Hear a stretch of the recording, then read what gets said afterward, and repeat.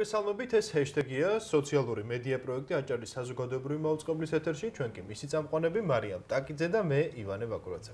მოგესალმებით, დღეს ორ მნიშვნელოვან თემაზე ვისაუბრებთ სტუმრებთან ერთად და წარმოგიდგენთ ასევე თემატურ ვიდეოებს პანდემიის გავლენას მოქალაქეების ყოფა ცხოვრებასა და მშრომელთა უფლებებზე მიმოვიხილავთ კვლევართან ლიკა ჯალაღანიასთან ერთად, ხოლო პანდემიის მართვის პერსპექტივაზე, ვაქცინაციის პროცესსა და საზოგადოების განწყობაზე ვისაუბრებთ ექიმ ანესთეზ ანესთეზიოლოგ რეანიმატოლოგთან ანი ქავთარაძესთან. დარჩით ჩვენთან ერთად და იაქტიურად გაცემის Facebook გვერდზე. აქვე შეგიძლიათ გაგვიზიაროთ ის საკითხები, რაც თქვენი აზრით უფრო მეტ ყურადღებას საჭიროებს. ახლა კი მარიამ დაუბრუნდეთ პირველ თემას. დაუბრუნდეთ პირველ თემას: ჯანდაცვა, განათლება, დასაქმება, პროდუქტებსა და ყოველდღიურ საჭიროებებზე ხელმისაწვდომობა პანდემიურ რეალობაში უფრო დიდი სიმძაფრით დადგა დღის წესრიგში.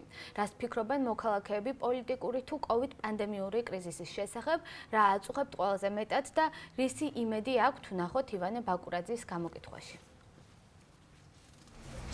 რა არის თემა, რაზეც მოქალაქე, როგორც მოქალაქე ყველაზე მეტად ფიქრობთ. მე დიკამანჩია ამაში მივეჩი 15 ლარი. ეს არის ჩემი ყოველდღიური. ყველა არის რა ვიცი, ღმერთის იმედით. არ ვიცი ვიძე აქ ლახათ რომ საქმე კარგად რომ არა კი ვხედავდა.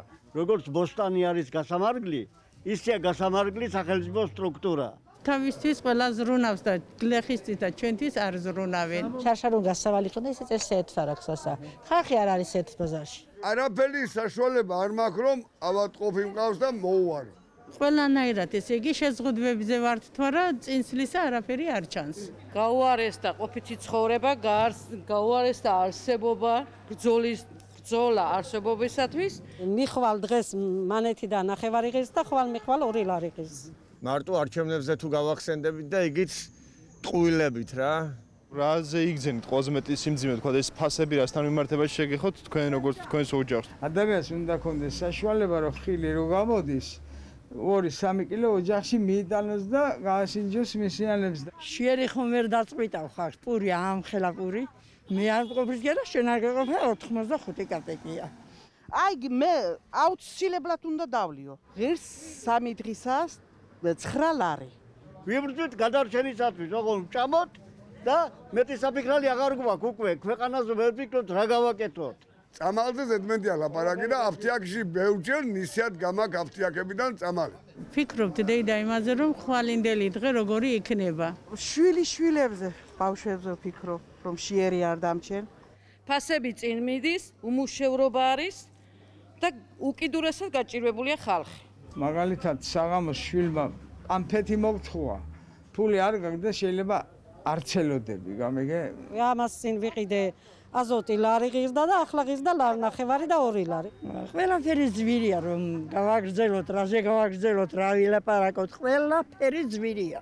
რა შეიცვალა პირადად თქვენ ცხოვრებაში როგორც ერთი ჩვეული მოქალაქისთვის ის საჭმლის ფული და იმის შოვნა პირველ რიგში არის ჩვენი ფიქრი ჯამთელი ვიყოთ. ავატყოფი მყავს და მაგი მაწუხებს თორე საჭმლის ბარას ჯანდაბა დაცხას მიშოვი მაგრამ ავატყოფს ამევე რო უთავ. შვილები შვილები მყავს დიდი ბიჭები არიან სამსახური არ ქონდენ არაფერი არ ქონდენ თავის რჩენა ხომ იცი და რა ჯდება დღეს სახელმწიფო სათავეში მოვიდეს ისეთი ხალხი, რომლებიც ქვეყანას გადაარჩენენ და საქართველოს ბოლო-ბოლო. ახლა მარტო დიდი ბიზნესმენები ახერხებენ საქონლის გაცვლა გამოცდა, საკით გადანას, ეკით გამოდანა. ვარისიდან ვარის ხეში ვარდებით ყოველ დღიურად ძმაო, რა გითხრანდეთ? ლარი და 50 თეთრი ღის და შახარი და ახლა ღის 2 და 10 თეთრი. დამთლათ რომ ვიყოთ, ამაზე ვფიქრობ. ვფიქრობ რომ იმას რომ შვიდობა იყოს, სამაოდ რა შეიძლება იყოს თქვა გამოსავალი როგორ ფიქრობ როგორ შეიძლება უკეთ რამე ლოკმაპური ვერ მიგვახს მაგრამ რა ვიცი ოღონდ შიდობა იყოს და ყველაფერზე მაინც ქართველი ხალხი თანახმავართ პანდემია დაიწლიოს ჯეში მშილი დაიწლიოს დედი. ყველაფერს ეშველება. კაცი რო 10 ლარს მიცემს მეორე კაცი 20 ლარს მიცემს დროს იგებს მეორე კაცი და სული გააკ. ქვეყანა დაქცევის პირას არის და პატრონი არ ყავს მო კატასტროფული მდგომარეობა ქვეყანაში. გავწყდით ხალხი შუაში ჩვენ მოვისმინეთ მოქალაქეების განწყობა, თემას კი გავაგრძელებთ სტუმართან ერთად. 1 მაისს მშრომელთა საერთაშორისო დღე აღინიშნა. საინტერესოა როგორია დასაქმებულთა უფლებრივი მდგომარეობა და რეალობა საქართველოში. ბოლო ერთი წლის განმავლობაში სხვადასხვა რეგიონში, სხვადასხვა სფეროში მშრომელთა პროტესტისა და გაფიცვის არაერთი ფაქტის მომსწრენი გავხდით. მაგალითად, 23 აპრილს ჭიათურაში მაღაროებლები გაიფიცნენ. რამდენიმე დღეში რუსთავის აზოტის თანამშრომლები. დღეს კი აქცია გამართეს კონკრეტული მაგისტრალის მონაკვეთზე დასაქმებულმა მუშებმა. ეს რამდენიმე ფაქტი მიმდინარე წლის მოვლენებიდან. COVID პანდემიას გავლენა აქვს საშინაო საქმეებში ჩართულ ქალებზე, ქალებზე, რომლებიც ან რამდენიმე წლაში სახლში და სახლის გარეთ არიან დასაქმებულნი, ან მხოლოდ ეგრეთ წოდებულ შინ შრომაში არიან ჩართულები.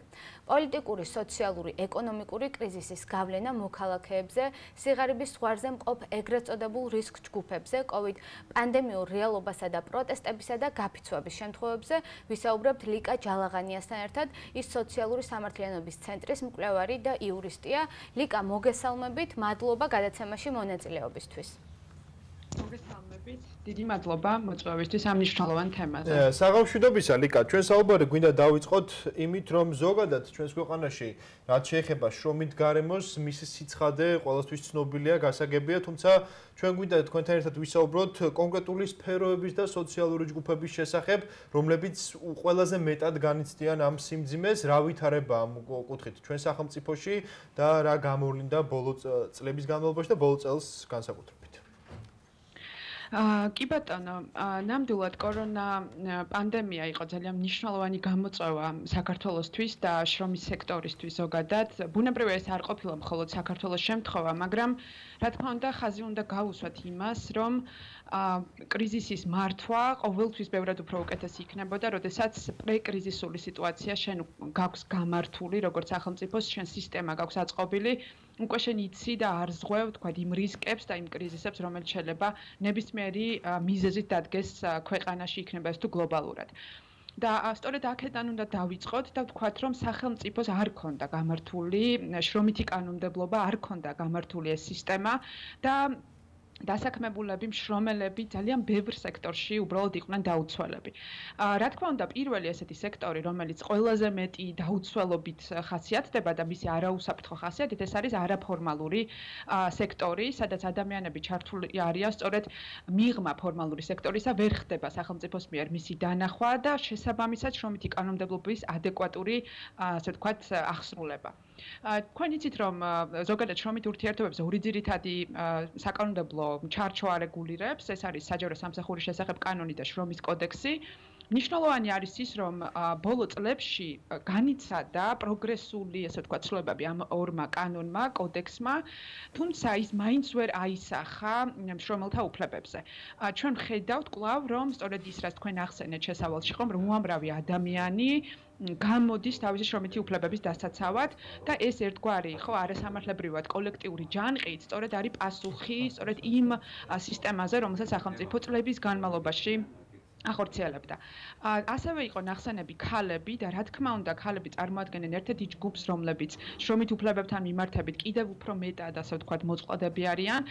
ხშირად ნამდვილად გვავიწყდება ხოლმე შინშრომაზე საუბარი, რომელიც ხელს უწყობს პრინციპში სხვა შრომის განხორციელებასაც და ძალიან ხშირად არის ის რომ ის არ არ ხდება მისი დანახვა, მისი ანაზღაურება, მისი ასე ვთქვათ დაფასება და სახელმწიფო სხვათა შორის დღემდე არ აქვს ისეთი მნიშვნელოვანი კონვენციები შრომის საერთაშორისო ორგანიზაციის ორგანიზაციის რატიფიცირებული, როგორც არის მაგალითად 156 კონვენცია, რომელიც ეხება სწორედ მშრომელებს საოჯახო ვალდებულებებით, ხო, რომელთაც სჭირდება დამატებითი მხარდაჭერა ამ პროცესში, როდესაც მათ სხვადასხვა ტიპის ვალდებულებები აქვთ. მაგალითად, მასში, როდესაც სახელმწიფო ვერ ეხმარება მოხუცების მოვლაში, შეზღუდული შეძლების მქონე ოჯახის წევრების მოვლაში, ან მათზე დამოკიდებული შვილების მოვლაში. ან უამრავი ეტაპია, სადაც ჩვენ ხედავთ და სფეროა, სადაც ადამიანები ფაქტობრივად ექვემდებარებიან შრომითი პირობების გაუმართებას. რა თქმა უნდა, მეტნაკლებად დაცულად შეიძლება მოვნიშნოთ ჩვენ ისეთი შრომითი ურთიერთობები, რომლებიც დანახულია კანონმდებლობის მიერ, თუმცა ჩვენ ამასაც ვერ ვიტყვით, რომ ეს სფეროები არის ასე ვთქვათ, დაზღვეული შრომითი კანონმდებლობის და უფლებების და ღირსეული შრომის პერსპექტივისგან. ლიკ აუცილებლად მიუყვებით თითოეულ სექტორსა და სხვა სხვა რისკ ჯგუფს ეს საუბარს აუცილებლად გავაგრძელებთ უფრო ვრცლად. თქვენ აღნიშნეთ საუბრის დასაწყისში კრიზისის მართვის მნიშვნელობა იმ გარემოში, როდესაც არ არის პრეკრიზისულ გარემოში. შესაბამისად, რომ მიუყვეთ ბოლო 1 წლის განმავლობაში პანდემიურ დღის წესრიგში მიმოვიხილოთ, როგორი იყო სახელმწიფო პოლიტიკა, რამდენად იყო ის შესაბამისი და დასაქმებული ადამიანების საჭიროებებზე მორგებული. ჩვენ ვნახეთ მაგალითად ანტიკრიზისულ გეგმაში იყო კონკრეტული კომპენსაცია, კონკრეტული ვადით გათვლილი, მაგრამ საინტერესოა თქვენი შეფასება როგორი იქნება ამ ნაბიჯების, ამ გეგმების, რამდენად იყო ის თანაბრად ყველასთვის თანასწორად გათვლილი და მორგებული. დიდი მადლობა ამ კითხვისთვის. ნამდვილად გარდა იმისა, ხო, ჩვენ თქვით რომ არათუ მზად არისო სახელმწიფო ის არც საკმარისად არ მოიმზადა და საკმარისად არ პირადად ჩემი აზრით საკმარისად არ იზრუნა უკვე არსებულ კრიზისში გამკლავების ეფექტური მექანიზმების და რეაგირების შესაბამისი ზომების უზრუნველსაყოფად, იმიტომ რომ თქვენ რაც ახსენეთ სწორედ ხომ, რომ ეს მათ შორის კომპენსაციები, რომელიც იყო გათვალისწინებული სამწუხაროდ ერთის მხრივ ორი პრობლემა ქონდა, ხო, აქედან დავიწყოთ ამ კომპენსაციას. ერთის მხრივ ეს იყო ძალიან დაბალი თანხა, ხო, ჩვენ საუბრობთ დაახლოებით 300 ლარზე, რომელიც მოგეხსენებათ ნამდვილად არ არის ადეკვატური ნებისმიერი დასაქმებულისთვის და ერთ ერთ ადამიანიანი ოჯახისთვისაც კი. და ამავე დროს მეორე პრობლემა რაც ამ კომპენსაციების სისტემას ჰქონდა იყო ის რომ ის ვერ წდებოდა სწორედ არაფორმალურ შრომაში დასაქმებულ ადამიანებს, ხო?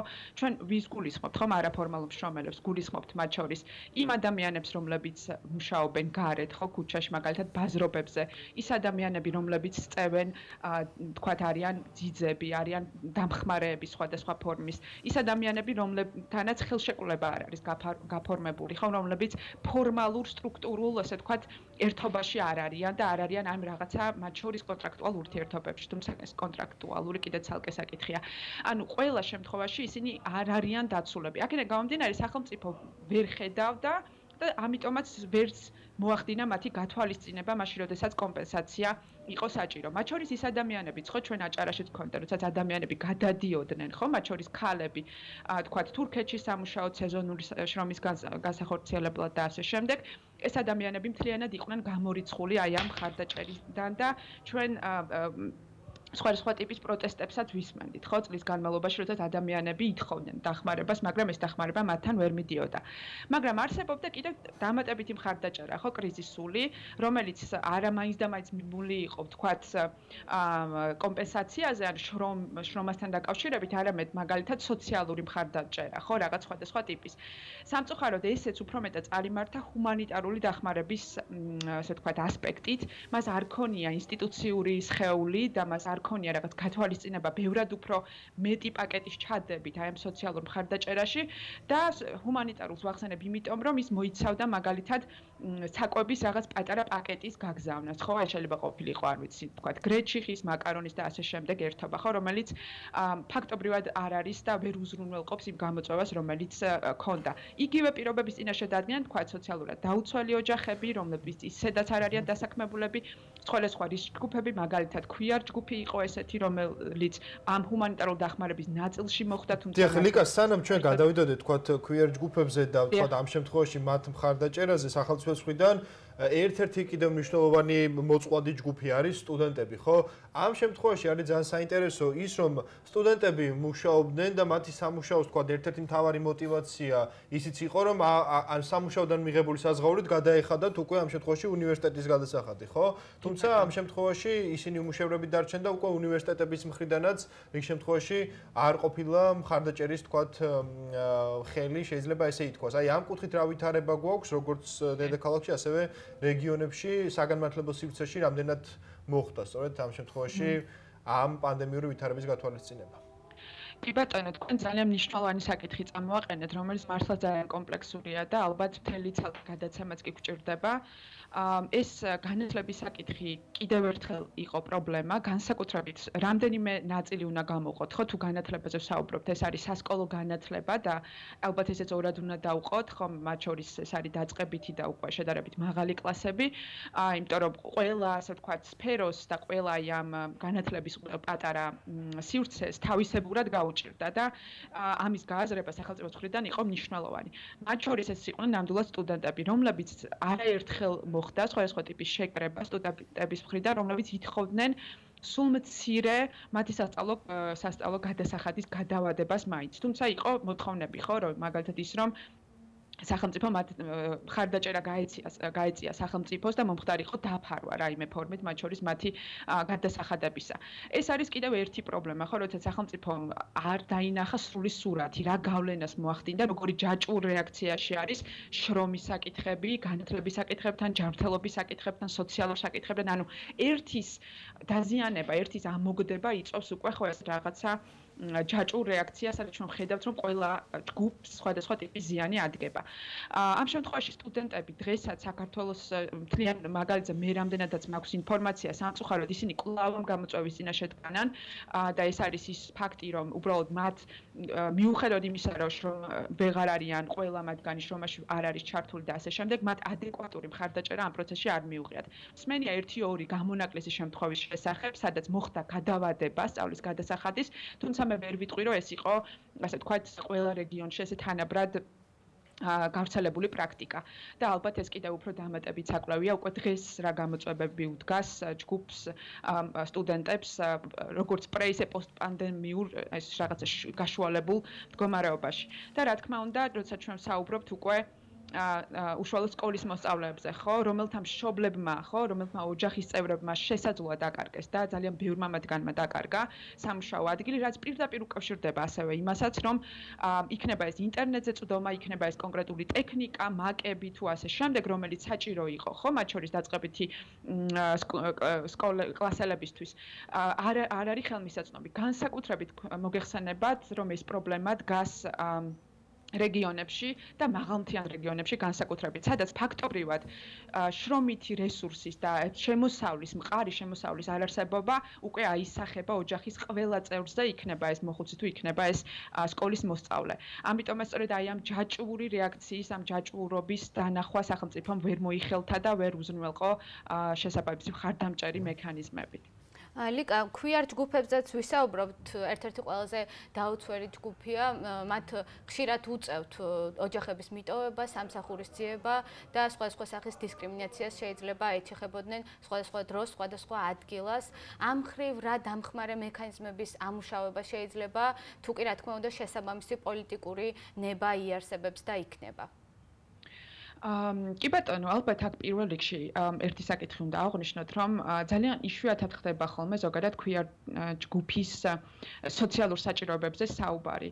და უფრო მეტად კონცენტრირდებით ხოლმე შეკრებისა და გამოხატვის ან რაღაც სხვა ტიპის უფლებებზე. მაშინ, როდესაც ეს არის მაცოცხლებელი, ხო, ნებისმიერი სუბიექტის და რა თქმა უნდა, ეს მარტო ქვიარ ჯგუფს არ ეხება, შრომითი უფლებები უნივერსალურად როგორც ყველა ჯგუფ შეეხო ისევე რა თქმა უნდა შეეხო მათაც მაგრამ რა თქმა უნდა ამ შემთხვევაში ეს იყო გარკვეულ შემთხვევაში გაორმაგებული აა ზიანი. სწორედ იქიდან გამომდინარე რომ მაგალითად ის ადამიანები რომლებიც სწორედ აღნიშნეთ თქვენ ოჯახში ძალადობის ხერპლები იყვნენ არა არ აქვთ კარგი არ არიან მიღებულები ოჯახებში.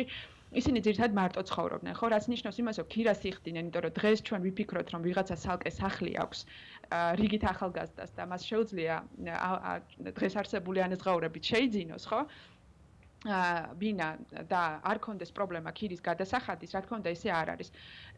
ჩნდება რამდენიმე პრობლემური გამოწვევა, ხო, ეს არის ქირა, ეს არის ის, რომ შესაძლოა მოუწიოთ მათ უკან დაბრუნება იმ ოჯახში, საიდანაც ისინი წამოვიდნენ, ან საიდანაც ისინი გამოაგდეს. აქედან გამომდინარე ძალიან პრობლემურია, ხო, ის ასევე უკავშირდება მენტალურ ჯანმრთელობასაც, ის ასევე უკავშირდება ფიზიკური უსაფრთხოების განცდასაც. ამიტომ შრომითი უფლებები არის მართლაც საბაზისო საკითხი, რომელიც მეტნაკლებად აგვარებს სხვა ტიპის პრობლემებსაც. აა ჩვენ სოციალური სამართლიანობის ცენტრმა განახორციელა კვლევა, სადაც სრულყოფილი კვლევა რაოდენობრივი, სადაც ჩვენ ვიკვლევდით შრომით ურთიერთობებში, მათ შორის გარდა სხვა უფლებებთან ერთად ამ საკითხსაც შრომით უფლებებს და უნდა აღვნიშნოთ, რომ ფაქტობრივად გამოკითხულთა 60%-ის ანეზღაურება არ არის 1000 ლარზე მეტი. რაც არის მართლაც ძალიან კრიტიკული ნიშნული, იმიტომ რომ ეს ნიშნავს, რომ ადამიანებს უბრალოდ ეს საკითხ ეს თქვა ეს ხელფასი ყოფნით მხოლოდ საბაზისო საჭიროებებზე, რაც არის თქვათ ჰიგიენური საშუალებები და კვება. და 60% აი ამ ჯგუფისა, რომელიც აი ესეთ ხელფას იღებს, მათი 80% ამბობდა, რომ ისინი ძვირადღირებულ ნებისმიერ ნივთს უბრალოდ ვერ შეიძენენ და ეს ყოფნიდათ მათ მხოლოდ საჭიროებებზე, ხო, რაღაც მინიმალურ საჭიროებებზე. იგივე ჩვენ შეიძლება ვთქვათ, მათ შორის ისეთ საკითხზე, როგორიც არის სესხის საკითხი, ხო? უამრავი ადამიანი, ჩვენ ვიცით, რომ სესხებით ძალიან ზიანდება და ეს ასევე პირდაპირ კავშირში არის შრომით უფლებებთან და ქვიერ ჯგუფსაც ეს ეხება. ჩვენ გამოკითხ ჩვენმა გამოკითხვა მაჩვენა, რომ მიუხედავად ხელფასისა, გამოკითხულების მეხუთედი მაინც სარგებლობს თითქმის ყოველთვიურად სხვა ცესხის სხვადასხვა ტიპით, მხოლოდ იმიტომ, რომ მათ საბაზისო საჭიროებები აა საჭიროებები მოიხმარონ, ხო, როგორც არის თქო, შეიძინონ საკვები ან ასე შემდეგ. აა და ძალიან ხშირად ეს არის ბანკები ან მიკროსაფინანსო, ასე ვთქვათ, კომპანიები, როდესაც ისინი სარგებლობენ. ანუ შრომით უფლებების დარღვევა მართლაც არის ძალიან ასე ვთქვათ, ყველა ჯგუფს რომ ეხება ისეთი პრობლემა, მაგრამ ის გარკვეული ზიანი სხვადასხვა კრიტიკულ სხვადასხვა რისკ ჯგუფ შემთხვევაში უფრო მწვავედ გამოვლინდება ხოლმე. დიახ, ლიკა, აი თქვენ თქვით რომ სხვადასხვა აი მარიამაც დაიწყო თქვა კითხოში თქვა სხვადასხვა სივრცე, სხვადასხვა ადგილი და ძალიან ბევრი ფაქტი ხდება, როდესაც შრომითი უფლებები ილახება, თუმცა ხშირად ბოლო პერიოდში არის უკვე დასაქმებულების მხრიდან პროტესტი ამ ყველაფერზე, ამ უსამართლობაზე და ჩვენ გვაქვს პარალელურად რამდენიმე მსგავსი კერა, ხო, პროტესტის. მე გულისხმობ ამ შემთხვევაში რუსთავის ჭიათურას გულისხმობ რიკოც, სადაც თქვა იქ დასაქმებული მუშები აპროტესტებენ შრომით პირობებს, ხო? აი ამასთან დაკავშირებით გვაინტერესებს თქვა თქვენი მოსაზრება, თქვა რა ტიპის ნაბიჯებს ხედავთ ჩვენ სახელმწიფოსთან, სკან, როდესაც უკვე ამდენი კერა არსებობს საქართველოში. და ლიკა, აქვე ივანე დავამატებ ბოლო კითხვის ფარგლებში ესეც ძალიან მნიშვნელოვანი პრეცედენტი იყო. გულისხმობ ქართველი მოდელების გაუსაძლისი შრომითი პირობების შესახებ გავრცელებულ განცხადებას, რომელსაც გამოხმეურება მოყვა სოციალურ ქსელში. ეს სფერო ძალიან მნიშვნელოვანია, რადგანაც ხშირად უხილავი რჩება ასეთ სფეროებში დისკრიმინაცია და გარკვეული შრომითი პირობების დარღვევა. ესეც რომ მიმოიხილოთ. დიახ, დიდი მადლობა. ნამდვილად უნდა აღვნიშნოთ ეს პროტესტები, რომელიც დღეს მიმდინარეობს, ის პროტესტები, რომელსაც ადგილი სულ ცოტა ხნის წინაც ჰქონდა და წლების ჩვენ ხედავთ ამ შრომითი პროტესტების ძალიან დიდ ტალღებს პერიოდულად, მაგრამ სამწუხაროდ ყოველთვის სწორედ იქიდან გამომდინარე, რომ აღნიშნულ ჯგუფების, ეხლა მე ვერ ვილაპარაკებ, ასე ვთქვათ, როგორ გითხრათ, რადგანაც ყველა ამ პროცესში არ ვიყავით ჩართული და იშვიათად ყოფილა თქვა ადგილზე ვერ ვილაპარაკებ დაზუსტებით, მაგრამ ხშირად ჩდება ხოლმე სხვადასხვა ინტერესები, ხო? და პირველ რიგში სამწუხაროდ სახელმწიფოსთვის არის ბიზნეს ინტერესი უპირატესი. ჩვენ ამას ვხედავთ არამხოლოდ შრომით უფლებებში, არამედ ჩვენ ვხედავთ ნებისმიერ სხვა საკითხზე, გარემოს დაცვით საკითხზე, ბათუმის შემთხვევაში, ხო? ბულვარის საქმეში, ჩვენ ვხედავთ ნამოხვანის საქმეში, სადაც ყოველთვის ბიზნეს ინტერესი დგება წინ. ამიტომაც სახელმწიფოს ჩართულობა იქნება ეს თქვა სამხრივი კომისია, ან იქნება ნებისმიერი სხვა ფორმით, რომელიც საცშრომის კოდექსი უშვებს. სამწუხაროდ მისი ჩართულობა არის ხოლმე მინიმალური. ან თუ არის ყოველთვის ის უფრო მეტად კონცენტრირდება და უპირატესობას ანიჭებს ბიზნეს ინტერესებს, რაც იფუთება ხოლმე მაგალითად დასაქმების ადგილების თქვა გაზრდის და თქვა რაღაცა პერსპექტივის ეკონომიკის განვითარების, მათი მხარდაჭერის საკითხებით, რომელიც სინამდვილეში მოსახლეობამდე არასდროს არ მიდის, იმ შრომელამდე არასდროს არ მიდის. ამიტომ რა თქმა უნდა სამწუხაროდ სახელმწიფოს ხედვა და შრომელების დაფასება და მათი თქვა უფლებებისთვის ბრძოლა პირველ რიგში იწყება სწორედ იქ სადაც აი ესეთი კერები ჩდება მაგრამ ჩვენ ვერ ვხედავთ ეფექტურ ნაბიჯს. მაგრამ აქვე უნდა აღინიშნოს რომ თავად ეს ფაქტი და განსაკუთრებით კორონას პერიოდში როდესაც ადამიანები გამოდიან ნიშნავს რამდენად ყვითრად გაუარესებული სიტუაცია გვაქვს და ეს ნიშნავს იმას რომ აქ უკვე აღარ იმუშავებს ისეთი ნაბიჯები რომელსაც სახელმწიფო მანამდე იყენებდა მაგალითად ყიბულელ მეშახტეებზე ხო მაგალითად ზესტაფონში და ასე შემდეგ. ანუ მას უკვე ჭირდება კარგად გაიაზროს, რომ კორონას შედეგები, მიუხედავად იმისა, რომ მანამდეც კრიზისში ვიყავით, უბრალოდ ეხლა უფრო გამწვავებული კრიზისია, უკვე სხვანაირად შეხედოთ, იმიტომ რომ ხალხის რეალობა არის იმდენად აა ხო რაღაც უბრალოდ შეუძლებელია მისი დაუნახაობა და აქედან გამ ის რომ ვერ დავინახოთ, აქედან გამომდინარე სახელმწიფოს მოუწევს ნაბიჯების შეცვლა და პრიორიტეტების გადალაგება, რომ შრომელები არის უნდა იყვნენ ყოველთვის პირველ ადგილზე. აქვე გავცემ ბარემ ძალიანაც რო არ გავაგრძელო მოდელების შემთხვევას. ნამდვილად ეს არის ძალიან მნიშვნელოვანი ფაქტი. ჩვენ ეს ფაქტი ეხლა გახდა უფრო ისე ვთქვათ, ხმამაღლა ისაუბრეს, რამდენიმე მოდელ რამდენიმე მოდელმა ხმამაღლა ისაუბრა და დიდი მადლობა მათ ამისთვის, იმიტომ რომ ძალიან დიდი ესე თქვათ ბარიერების გადალახვა მოუწიათ. მე დარწმუნებული ვარ რომ მათ შეძლებოდათ ამაზე ხმამაღლა საუბარი იმიტომ რომ ეს სფეროც არის საკმაოდ ჩაკეტილი და შრომითი უფლებების შესახებ ჩვენ გვსმენია სხვადასხვა არაფორმალური წყაროდან რომ საკმაოდ პრობლემურია და შრომითი კოდექსის უამრავი ნორმა ირღვეოდა. იქნება ეს თქვათ ღირსეული შრომის საკითხები იქნებოდა ეს თქვათ მათ შორის ზეგანაკვეთური შრომა და ასე შემდეგ და ძალიან კარგია რომ ამაზე ხმამაღლა საუბარი დაიწყეს. თუმცა ერთ-ერთი მთავარი პრობლემა რომელზეც მოდელებმა გამახვილეს ყურადღება ეს გარდა იმისა, რომ შრომითი პირობები იყოს სრულად შეუსაბამო, ხო, ღირსეულ შრომასთან, ხო, მათ შორის ის რომ საპირფარეშო არ არისო იმ ადგილას, მათ შორის რომ ყვებით არ არიან უზრუნველყოფილი არ ხდება ხარდაჭერა მათი გადაადგილებისთვის პანდემიის პირობებში და ასე შემდეგ. მათ ასევე ახსენეს ხელფასის საკითხი, რომელიც არის უნიშნულოვანესი და მე მგონია, რომ ამაზე აუცილებლად უნდა ვილაპარაკოთ, როდესაც შრომით უფლებებზე ვსაუბრობთ. მინიმალური ანაზღაურება ეხება თანაბრად როგორც სხვა პროტესტებს, რომელიც ეხლა ვახსენეთ, მათ შორის მოდელების და ნებისმიერი სხვა დასაქმებულის ინტერესებში, ანუ პირველ ადგილასაც უნდა იდგას ჩემი აზრით, იმიტომ რომ თქვენ მოგეხსენებათ 99 წლის ბრძანება არის პრეზიდენტის, რომელიც ადგენს დღემდე არ შეცვლილა ეს, რომ 20 ლარი არის მინიმალური ხელფასი.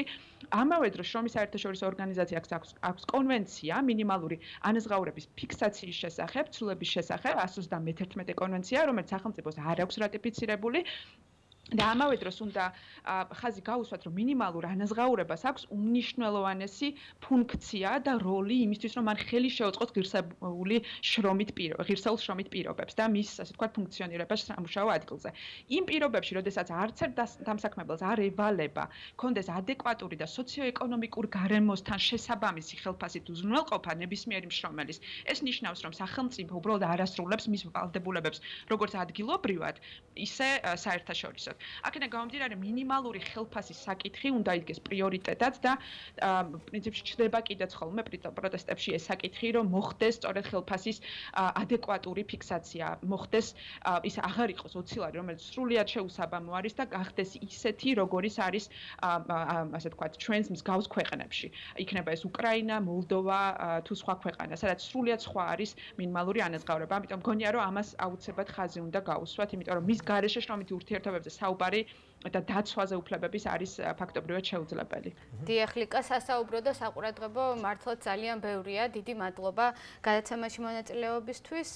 ლიკა ჯალაღანია სოციალური სამართლიანობის ცენტრის მკვლევარი იყო ჩვენი სტუმარი. მადლობა ლიკა გემშვიდობებით და ჩვენ შემდეგ ჰეშტეგზე უნდა გადავიდეთ. მარიამ საქართველოსი 4 მაისს სინოფარმით აცრა დაიწყო ვაქცინა ხელმისაწვდომია საქართველოს 11 რეგიონში. აჭარაში სერვისის ჩატარება შესაძლებელია ბათუმში, ქობულეთში, ხელვაჩაურში, ქედაში, შუახევსა და ხულოში. ბათუმ ბათუმში თამარის დასახლების საოჯახო მედიცინის ცენტრია, ერთ-ერთ ეს ეს ცენტრია, ერთ-ერთი სადაც სინოფარმით ვაქცინაცია არის შესაძლებელი. ჩვენ შეგვიძლია ვნახოთ მარიამ ტაკიძის მიერ მომზადებული სიუჟეტი და უკვე სტუმართან ერთად დავბრუნდებით აღნიშნულ თემასთან დაკავშირებით.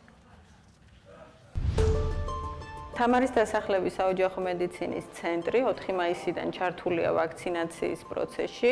მოსახლეობას ემსახურება დატრენინგებული სამედიცინო პერსონალი. ამ ეტაპისთვის მუშაობს ერთი ბრიგადა, თუმცა ყავს სარეზერვო ბრიგადები. ძალიან გაზრდილი აქტიურობა იგუშინდელთან შედარებითაც კი. სრული ჯავშანია. აქედან მხოლოდ 3 ვიზიტის გაუქმება მოხდა, 3 პაციენტი გადამისამართთა უბრალოდ სხვა კლინიკაში ტერიტორიული პრინციპის გამო. ну მოსulis განწყობაც ჩვენიერი მქონდა ეხლას თავს ჩვენიეროთ ბრძონ უსაფრთხო იყო შედარებით და გადაწყვეტეთ გაკეთო დამღლელია უკვე ეს პირბადე კომენდანტი ცხრის მერე სახლში და რაღაც ესეთი თქო დიდი მაყურებელი არ ვარ და ის უყურებს ძალიან დიდი ბევრი ინფორმაციას ღებულობს ზოგადად ყველაფერზე და არჩენებისთვის ესე კონკრეტულად თითო პიროვნებას ხო არ დაგვირეკავენ და გვეტყვიან რომ ხო და ესე ხო და ესე ან რაღაც ესეთი ამ პრივილეგიები იქნება ოფირდებიან და ნახოთება თუ იქნება. ხირდა ალბათ უფრო მაგიტო რა მე მგონი სახიფათო არ უნდა იყოს და თუ გავიკეთებთ ყველა შესაბამისად მალე დავამარცხებთ პრობლემას ეს 9-ზე აღარ ჩავიკეთებით სახში გვაქვს დაყოვნების ოთახი, სადაც ვაყოვნებთ პაციენტებს ვაქცინაციის შემდგომ 30 წუთის განმავლობაში. ხდება მათზე აქტიური დაკვირვება, მონიტორინგი და შეიძლება ითქვას, რომ ამ ეტაპისათვის ვაქცინაციის შემდგომ რაიმე გართულებას ადგილი არ ჰქონია. იციან რომ ვაქცინაცია ეს არის ერთადერთი გზა, რომლითაც შეიძლება ინფექციის თავიდან აცილება და რაც მთავარია, ეს გზა არის უსაფრთხო. მე გუშინ გავიკეთე სინოფარმის პირველი ვაქცინა. ველოდები დროის გასვლას 21 დღე შეიძლება მეორე ვაქცინას რო გავეკეთო და მოვადრო და გავეკეთებ იმასაც აუცილებლად. როგორც აი ჩვენი საქართველოს მედიკოსები გვაძლევენ ინფორმაციას, სხვა გამოსავალი არ არის ვაქცინის გარეშე. ქალიშვილი მყავს, რომელიც უცხოეთში ცხოვრობს და ვერ წავედი საფრანგეთში ცხოვრობს. ორი შვილი შვილი მყავს იქ საფრანგეთში. ამ დროის განმავლობაში მე აუცილებლად ჩავიდოდი, მაგრამ ზუსტად პანდემიიდან გამომდინარე, ვერანაირად ვერ ვახერხებ წასვლას. ევროპიდან მეც რაღაც ბიზნეს ვეწევი და რა თქმა უნდა გამირთულდა, გამეჭირდა. თავს ძალიან კარგად ვზნობ, ისევე როგორც მანამდე გუშინდლამდე ვზნობდი. ეხლა ჩემი მეუღლე იკეთებს ვაქცინას შესული არის უკვე სადაც გაიკეთებს. შვილმა ჩემმა 28 წლის ბიჭი მყავს, გაიკეთა უკვე და ჯერ კიდევ მოსასვენებელ ოთახშია. ინტერნეტიც ძალიან კარგი რამე არის, სხვათა შორის დღეს 21 საუკუნეში მაგის გარეშე ცხოვრება უკვე წარმოუდგენელია. მაგრამ ცუდი იქნა იმ ადამიანებისთვის, ვინაც რომ დეზინფორმაციას ავრცელებს და თანაც ძალიან მარტივად და მე არ ვიცი რა შეიძლება გაკეთდეს რამენაირად გაფილტროა თუ შეიძლება ამ ინფორმაციების რომ აი ვერ ვრცელდებოდეს. შეიძლება 18 წლის ზემოთ ასაკის პიროვნებების რეგისტრაცია ვაქცინოფარმით ვაქცინაციისთვის იყო აი გუშინდელი დღიდან დღემდე სხვადასხვა საკობრივი ჯგუფის პიროვნებები იყო აგრეთვე გუშინ 15 პიროვნება უცხოელი, ანუ რომელთაც აქვთ ორმაგი მოქალაქეობა, გამოირჩეოდნენ ძალიან აქტიურობით. გამარჯობა. My name is Paris Soferidumpur. and I'm from Iran. მე ვარ პარისა ფერეიდონპური 32 წლის ირანიდან ვსწავლობ თბილისის სახელმწიფო სამედიცინო უნივერსიტეტში ფიზიკურ თერაპიაზე. ახლა ბათუმში ვარ და სინოფარმის ვაქცინა გავიკეთე. უნივერსიტეტში ყოველდღიური შეხება მაქვს სხვა ადამიანებთან და ვაქცინაციის გადაწყვეტილებაც ამას უკავშირდება. ვაქცინაციისთვის დავრეგისტრირდი ვებგვერდზე, მხოლოდ ბინადრობისა და ბარათის კოდი იყო საჭირო.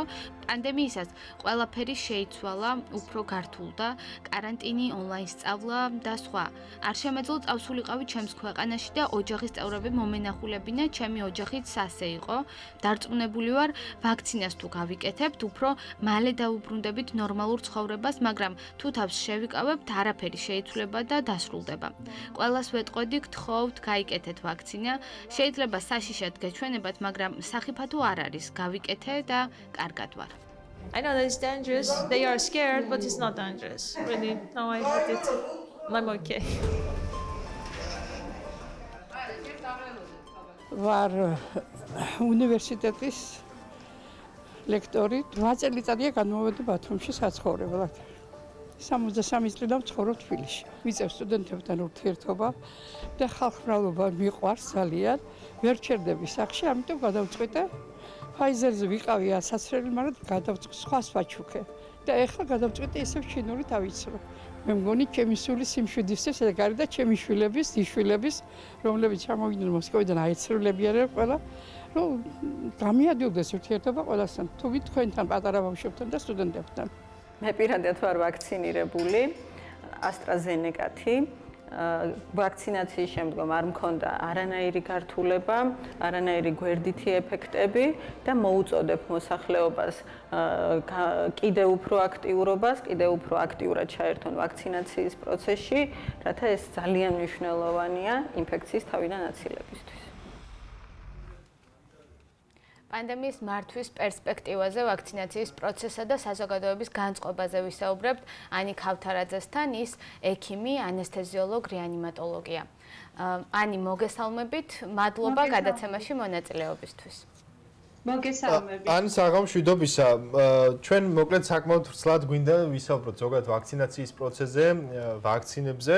თუმცა საუბარი დავიწყოთ ზოგადი შეკითხვით, ზოგადი ფონი ბოლო პერიოდის როგორია, როგორ მიმდინარეობს ვაქცინაცია ჩვენს ქვეყანაში, რა გამოხმაურებებია და თვითონ ეს პროცესი პროცესთან რა საკითხებია, მოკლედ ყველაზე მეტად აქტუალური. მოგესალმებით, მივესალმებით თქვენს მაყურებელს, განსაკუთრებით მიხარია ხოლმე თქვენთან სტუმრობა.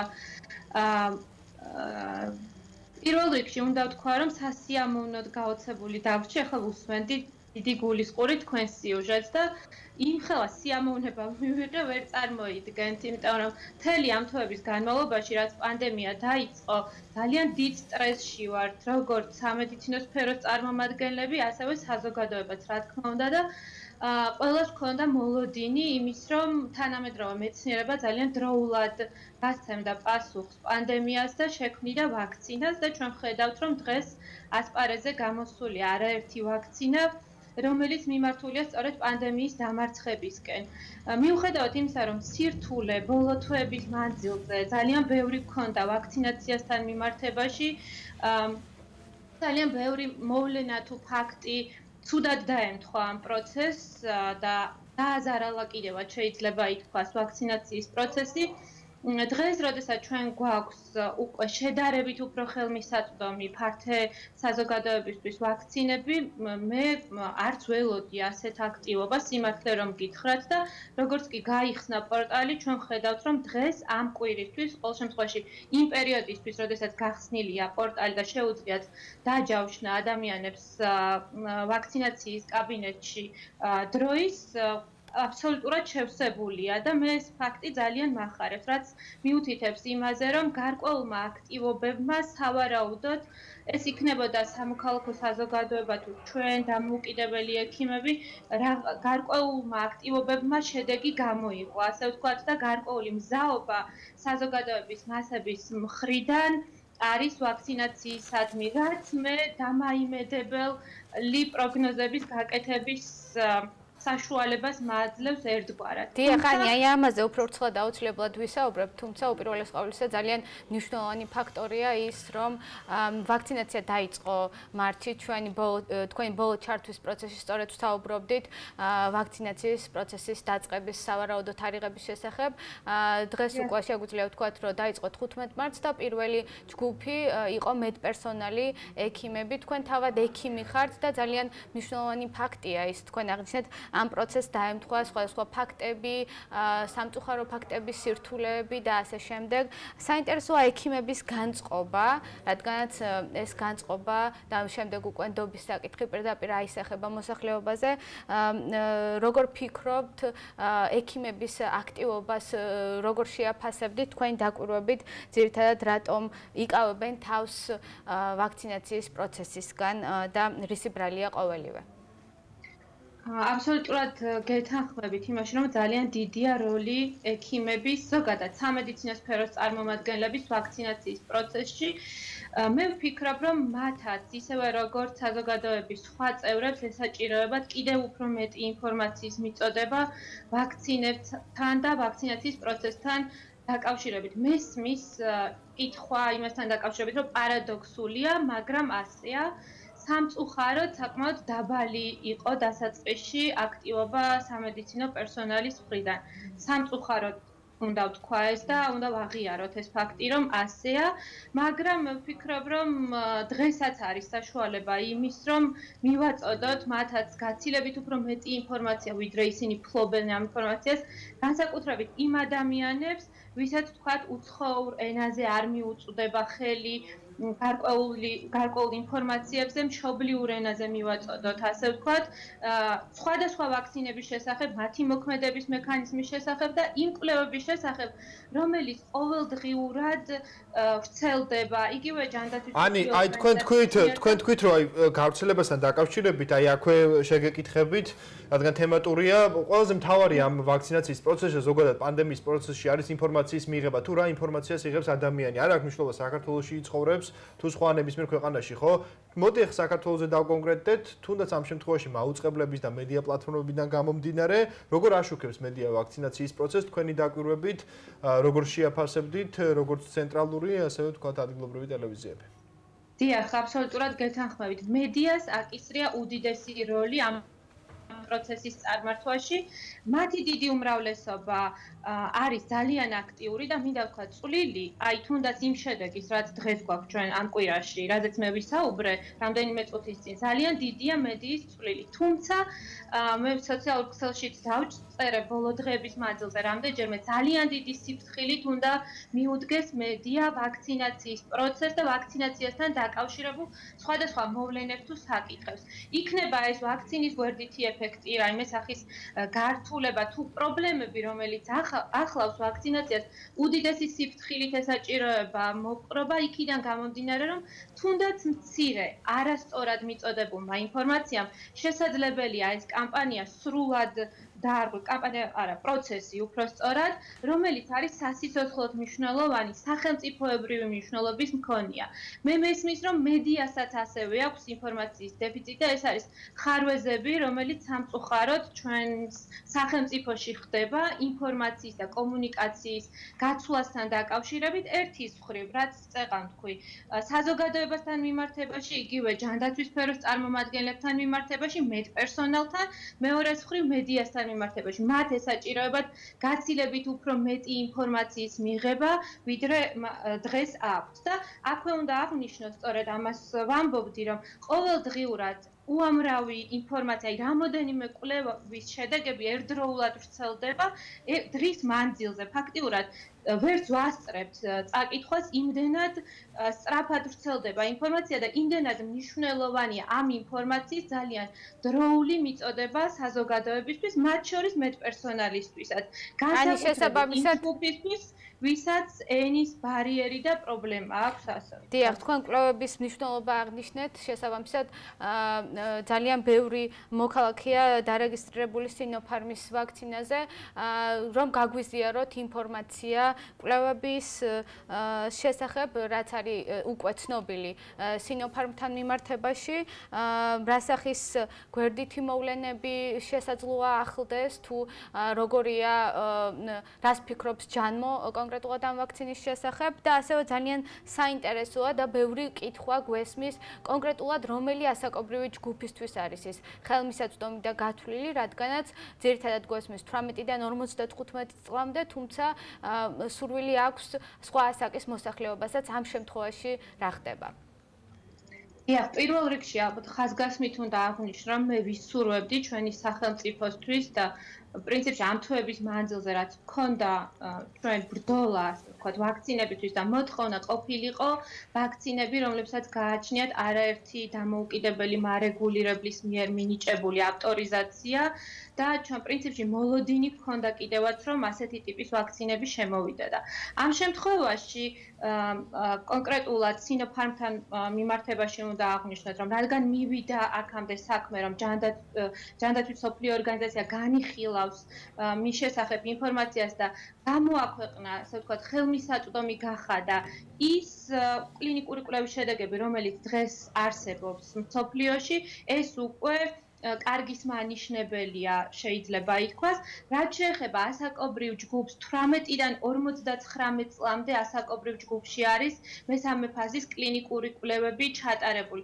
მესამე ფაზის კლინიკურ კვლევად პრინციპში ჩაითვალა მათი გამოყენება სხვადასხვა ქვეყანაში და ეს ფაქტი საზოგადოებისთვის ცნობილია, რომ გარკვეულმა ქვეყნებმა შეისყიდეს სინოფარმი, სინოვაკიც ამავდროულად და პრინციპში კლინიკური კვლევები წარმო წარმოება მიმდინარეობდა ფაქტიურად ვაქცინაციის პროცესის პარალელურად, ასე ვთქვათ და სწორედ ეს მონაცემებია, რომელიც მიაწოდა ჯანდაცვის სოფლიო ორგანიზაციას მწარმოებელმა. დიახ, აი აი აი მაქსაკთან დაკავშირებით რომ დავაკონკრეტოთ, ვთქვათ ამ შემთხვევაში, ხო, აი ბოლო ინფორმაციით, რაც ბოლო ინფორმაციას თქვენ ფლობთ, 60 ზემოთ მქონე ასაკის მქონე მოქალაქეებისთვის სინოფარმთან დაკავშირებით თქვათ არის სასურველი არ არის სასურველი რა შედეგები შეიძლება თქვათ მოხდეს ამ ყველაფერს თქვენ ინფორმაციას საქმე დიდი ალბათობით ჯანმო ამ ვაქცინას მისცემს ავტორიზაციას მაგრამ შესაძლებელია ასაკობრივი შეზღუდვა დააწესოს იქიდან გამომდინარე რომ დღევანდელ დღეს ჯერჯერობით არ ფლობთ ინფორმაციას ზედა ასაკობრივ ჯგუფში. ანუ როგორც მოგახსენეთ 18-დან 59 წლამდე ასაკობრივ ჯგუფში იქნა მხოლოდ და მხოლოდ გამოყენებული ეს ვაქცინა და ამ შემთხვევაში ჩვენ ინფორმაცია ზედა ასაკობრივ ჯგუფთან დაკავშირებით არ გვაქვს. მხოლოდ და მხოლოდ ამიტომ და არა იმიტომ რომ თქვათ 59 წლის ზევით რაიმე სახის განსაკუთრებული გვერდითი მოვლენებია დაფიქსირებული ან გართულებები. უბრალოდ ამ ასაკობრივ ჯგუფში გამოყენებული არ ყოფილა.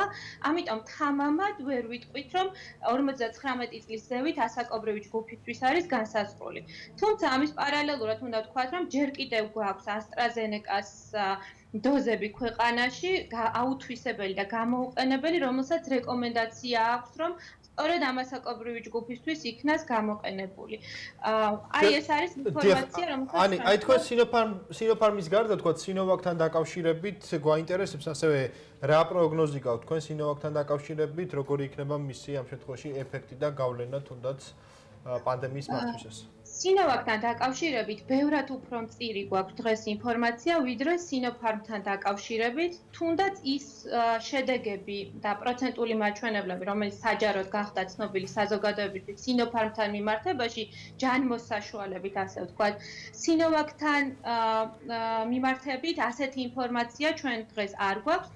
ვიცით რომ ბრაზილიაში იქნა გამოყენებული და 50.6%-ი აჩვენა ეფექტურობა და რამოდენიმე დღის წინ ევროპის წამლის სააგენტომ განაცხადა, რომ პარალელურ რეჟიმში, ასე ვთქვათ, მიმდინარედ დააკვირდება სინოვაკის გამოყენებას იმ ქვეყნებში, სადაც ის შეტანილია და გამოიყენება უკვე და ამის საფუძველზე გააკეთებენ უკვე დასკვნას.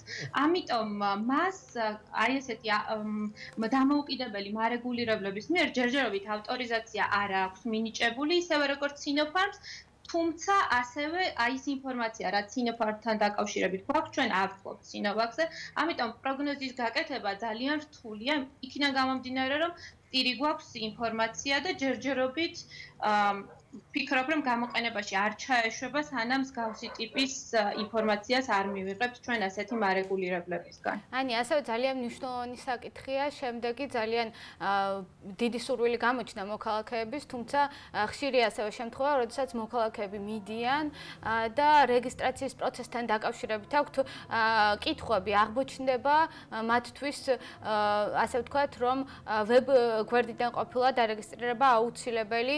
ამ შემთხვევაში შემთხვევაში რა მიდგომა შეიძლება გქონდეს სახელმწიფოს და ზოგადად ვაქცინაციის პროცესის მართვა როგორ მიმდინარეობს ქვეყანაში?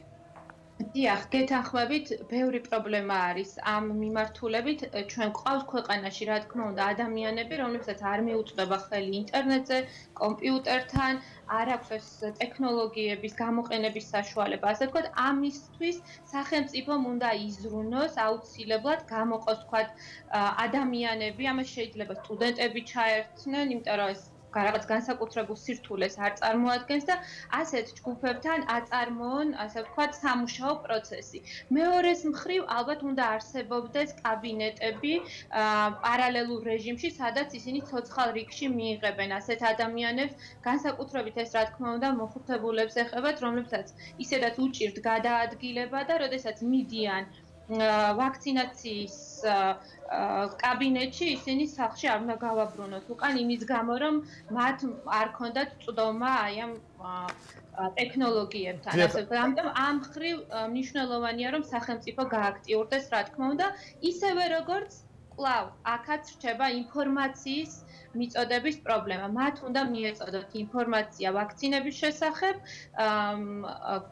გვერდითი მოვლენების შესახებ, თუ ასეთი შესაძლებელია განვითარდეს უკუჩვენებების შესახებ და რა თქმა უნდა, მათთვის ხელმისაწვდომი უნდა გახდეს ვაქცინაცია, ვინაიდან ისინი ერთგვარად მოწყვლადი ჯგუფებიც არიან. ანი, ძალიან დიდი მადლობა გაცემაში მონაწილეობისთვის. ანი ქავთარაძე, ანესთეზიოლოგ, რეანიმატოლოგი იყო. ჰეშტეგი სტუმარი, ჯანმრთელობას გისურვებთ. მადლობა კიდევ ერთხელ და ეს იყო დღეს ჩვენი ბოლო ჰეშტეგი. დაუბრუნდებით უკვე შემდეგ ხუთშაბათს ახალი თემებით და ახალი ჰეშტეგებით ზუსტად 19 საათზე. კარგად ზანდებოდეთ ბერნი, როგორც გისურვებთ.